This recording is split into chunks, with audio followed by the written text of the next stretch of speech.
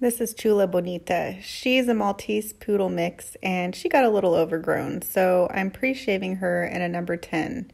But Melissa, she's going to be cold. No, no, she's not going to be cold. When your dog gets matted, it's not able to circulate any air, and if they get wet or if you wash them, they hold onto that moisture and it can cause skin issues as well as keeping them colder. Because can you imagine being in a wet sweater all day long? No, no.